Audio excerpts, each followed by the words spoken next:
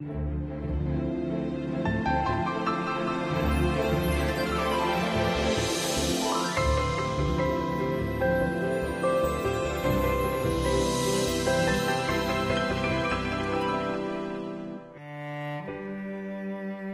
September 2018, the 30th La Biennale Paris opened at the Grand Palais, once again showcasing exceptional art, antiques, and jewelry.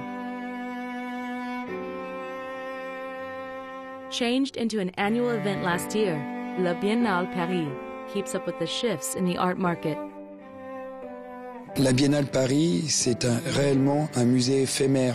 62 galeries, 62 galeries d'exception avec des objets tout à fait exceptionnels. Cela va du mobilier du 20e, art déco, aux tableaux hollandais, à des tableaux modernes, à de la bande dessinée, pour toucher le plus large public possible, les collectionneurs du monde entier. One third of the galleries came from outside France, but the show's penchant for French culture never changed. For nine days, over 50,000 visitors came and witnessed the vitality of the art market.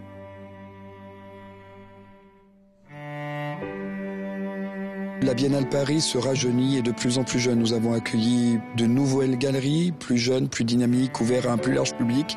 Nous sommes ouverts aux Journées européennes du patrimoine, mais nous créons aussi euh, dès cette année de nouveaux partenariats, notamment avec Maison et Objet ou Paris Design Week, ce qui permet euh, de tisser un lien avec les décorateurs, les collectionneurs du monde entier, les amateurs d'art. Quelque part, nous définissons la Biennale Paris comme l'art de vivre à la française, le moment d'excellence. The guest artistic director, Jean-Charles de Castelbajac, adorned the main aisle with a suspended installation, the first of its kind at La Biennale Paris. I was thinking to don't fight the space because I love textile, I love light, I love transparency.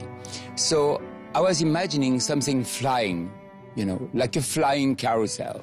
The idea is to surround by a huge celestial carousel of the ancestors, of the friends who have gone, like all the things who have been around Napoleon.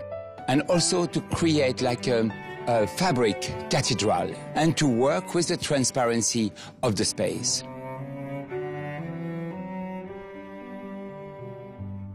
Napoleon's furniture, paintings, and accessories collected by Pierre-Jean Chalençon were displayed directly under the Grand Palais Central Dome.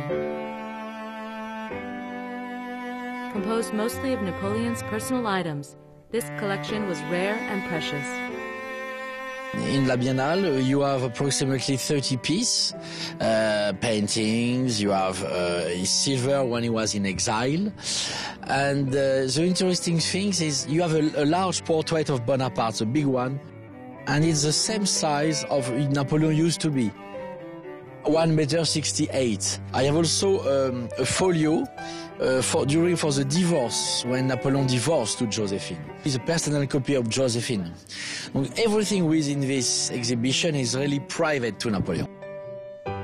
Hantang Culture, as an official media partner of La Biennale Paris, covered the event with quality videos. The ultimate luxury will bring you the latest updates. Please stay tuned.